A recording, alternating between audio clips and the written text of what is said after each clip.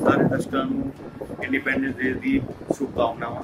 ਅਸੀਂ ਚਾਹੁੰਦੇ ਹਾਂ ਕਿ ਦੇਸ਼ ਦਾ ਪੈਸਾ, ਜੋ ਕਿ ਸੇਵ এনवायरमेंट ਸੇਵ ਮਨੀ ਨੂੰ ਲੈ ਕੇ ਜੋ ਸਾਡਾ ਕਨਸੈਪਟ ਹੈ ਇੰਡੀਆ ਦਾ, ਜਿਹੜਾ ਕਿ ਕਰੂਡ ਆਇਲ ਤੇ ਇੰਨਾ ਪੈਸਾ ਯੂਜ਼ ਕਰਦੇ ਇੰਪੋਰਟ ਕਰਨ ਵਾਸਤੇ, ਉਹ ਪੈਸਾ, ਦੇਸ਼ ਦਾ ਪੈਸਾ ਬਚੇ ਸੇਵ এনवायरमेंट ਸੇਵ ਮਨੀ ਜਿੰਨਾ ਮਤਲਬ ਕਿੰਨੇ ਲੱਖਾਂ ਟਨ ਕਾਰਬਨ ਡਾਈਆਕਸਾਈਡ ਰਿਲੀਜ਼ ਹੁੰਦੀ ਹੈ ਜਦੋਂ ਕਾਰ ਚੱਲਦੇ ਨੇ, ਬਾਈਕ ਚੱਲਦੇ ਨੇ, ਇੰਨਾ ਜ਼ਿਆਦਾ ਪੋਲੂਸ਼ਨ ਨਿਕਲ ਰਿਹਾ ਹੈਗਾ, ਇਹ ਚੀਜ਼ ਨੂੰ ਕੋਈ ਨਹੀਂ ਦੇਖ ਰਿਹਾ। ਅਸੀਂ ਚਾਹੁੰਦੇ ਹਾਂ ਕਿ ਸਿਰਫ ਦੇਸ਼ ਦੇ ਦੇ ਨਾਗਰਿਕ ਹੁੰਦੇ ਹੋਏ ਕਿ save environment save money pollution ਤੇ ਬਹੁਤ ਜ਼ਿਆਦਾ ਕੰਟਰੋਲ ਹੋਵੇ।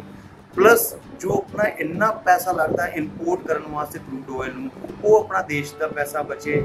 ਤੇ ਇਹਦੇ ਪਲੱਸ ਪੁਆਇੰਟ ਕੀ ਹੈਗਾ ਕਿ ਹਰ ਬੰਦੇ ਦੇ ਪੈਸੇ ਜਿਹੜੇ ਜੇਬ 'ਚ ਅੱਜ ਕੱਲ ਮਹਿੰਗਾਈ ਦਾ ਇੰਨਾ ਲੰਬਾ ਦੌਰ ਚੱਲ ਰਿਹਾ ਹੈ ਕਿ ਲੋਕ ਪਰੇਸ਼ਾਨ ਹੋਏ ਨੇ ਕਿ ਮਤਲਬ ਕਿ ਰਾਹਤ ਮਿਲਣ ਵਾਸਤੇ।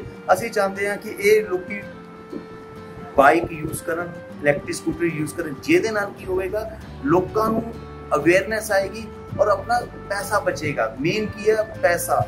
ਹਰ ਬੰਦਾ ਚਾਹੁੰਦਾ ਕਿ ਮਹਿੰਗਾਈ ਦੇ ਦੌਰ 'ਚ ਪੈਸਾ ਬਚੇ। ਤਾਂ ਇਹ ਸਭ ਤੋਂ ਵਧੀਆ ਇੰਪੋਰਟੈਂਟ ਹੈਗਾ। ਜਿਹੜਾ ਸਾਡਾ ਸਕੂਟਰ ਆ, ਤੁਹਾਨੂੰ ਇੱਕ ਗੱਲ ਦਸੀਏ ਕਿ ਅਸੀਂ ਚਾਹੁੰਦੇ ਕਿ 3 ਸਾਲ ਦੀ ਵਾਰੰਟੀ ਦੇ ਰਿਹਾ।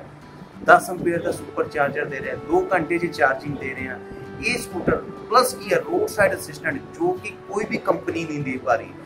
ਰੋਡ ਸਾਈਡ ਅਸਿਸਟੈਂਟ ਕਿੱਥੇ ਵੀ ਦਿੱਕਤ ਆ ਗਈ, ਤੁਸੀਂ ਟੋਲ ਫ੍ਰੀ ਨੰਬਰ ਤੇ ਕਾਲ ਕਰੋ। ਤੁਹਾਨੂੰ ਟੈਕਨੀਸ਼ੀਅਨ ਆਏਗਾ, ਨਹੀਂ ਆਂਦਾ ਤਾਂ ਤੁਹਾਡਾ ਸਕੂਟਰ ਪਿਕ ਕਰਾਉਣ ਦੀ ਜ਼ਿੰਮੇਵਾਰੀ ਉਸ ਏਜੰਸੀ ਦੀ ਹੈਗੀ ਹੈ ਕਿਉਂਕਿ ਇਸ ਸਕੂਟਰਾਂ ਦੀ ਥੋੜੀ ਜਿਹੀ ਲਿਮਿਟੇਸ਼ਨ ਹੈ ਕਿ ਈਜ਼ਲੀ ਸਰਵਿਸ ਨਹੀਂ ਮਿਲ ਰਹੀ। ਅਸੀਂ ਚਾਹੁੰਦੇ ਹਾਂ ਕਿ ਜਿੱਥੇ ਵੀ ਲੁਧਿਆਣੇ ਕੋਈ ਦਿੱਕਤ ਆ ਰਹੀ ਹੈ, ਤੁਸੀਂ ਸਕੂਟਰ ਯੂਜ਼ ਕਰੋ। ਦਿੱਕਤ ਆ ਰਹੀ ਹੈ ਫੋਨ ਕਰੋ। ਤੁਹਾਨੂੰ ਟੈਕਨੀਸ਼ੀਅਨ ਆਏਗਾ, ਨਹੀਂ ਹੁੰਦਾ ਤਾਂ ਸਕੂਟਰ ਚੱਕ ਕੇ ਲਿਆਉਣ ਦੀ ਜ਼ਿੰਮੇਵਾਰੀ ਉਹਨਾਂ ਦੀ। ਤੇ ਸਪੈਸ਼ਲੀ ਥੈਂਕ ਯੂ ਪ੍ਰਾਈਮ ਦੇ ਦੇ ਚੈਨਲ ਨੂੰ, ਜੋ ਕਿ ਇੰਡੀਪੈਂਡੈਂਟ ਡੇ ਵਾਸਤੇ ਸਾਡੇ ਕੋਲ ਆਏ ਨੇ। ਤੇ ਆਪਣੇ ਸਾਂਝੇ ਜੋ ਵਿਊਜ਼ ਅਸੀਂ ਕਲੀਅਰ ਕਰਨਾ ਚਾਹ ਰਹੇ ਨੇ, ਉਹ ਅਸੀਂ ਕਲੀਅਰ ਕਰ ਰਹੇ ਹਾਂ।